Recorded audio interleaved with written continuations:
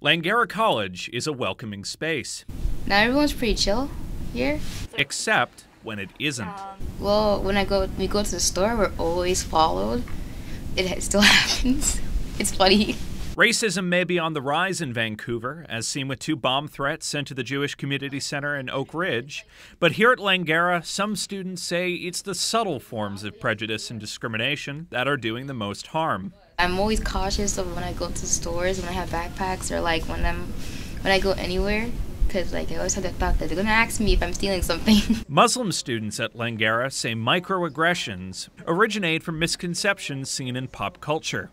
You know, if someone sees me walking on the street and um, I'm wearing a hijab and all they've seen on on the media related to a hijab is like, oh, they're forced to wear it, they're oppressed. You know, obviously that's gonna that's going to incite some hateful comments. A 2016 study published by the University of Ottawa suggests that racist acts are a daily common event on every campus in North America. The study found that subtle acts and biases are everywhere, overheard on the street, used in advertising, and shared broadly. They don't ask questions, and it's rooted from ignorance. I, I don't really explain it. I just say, okay, well, this is how I'm living. Like, this is my choice. It's your choice whether you want to believe it or not. I just leave it up to them.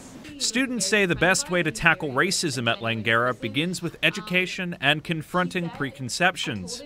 For those bearing the brunt, however, the best short term fix is speaking out. And actually going to Muslims to learn about what they do, what, what they practice, is the best way to learn about Islam and Muslims. Exactly.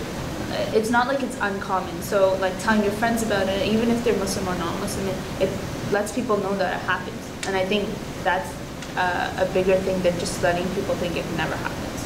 For Langara News, I'm Tanner Boker.